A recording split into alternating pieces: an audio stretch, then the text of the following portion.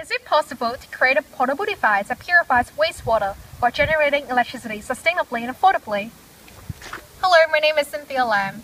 I asked this question not just because there's a lack of resources in third world countries, but also because the whole world is facing energy crisis and water pollution. My objective is to find an eco-friendly and economical approach to solve both problems. This is my device H2 Pro. It relies on photocatalysis to purify and sterilize wastewater and generate electricity using the hydrogen produced. The whole sustainable process only needs titanium and light. What's more is that the organic pollutant doesn't just get decomposed, but will also enhance the whole reaction rate.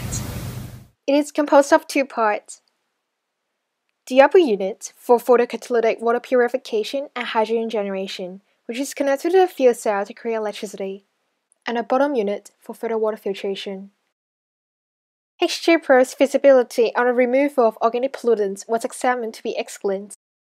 However, its performance in electricity generation was somehow unstable, although theoretically and experimentally, the hydrogen yield was proved to be satisfactory and even better in the presence of organic pollutants. Hence, in my further research, I will keep improving my device until stable electricity generation is achieved.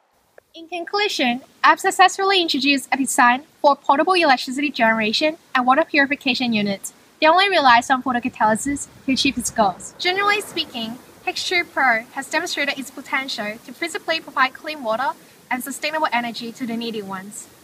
I will keep trying to find an economical approach to practicalize the electricity generation unit so that people can really benefit from a design one day. Thank you.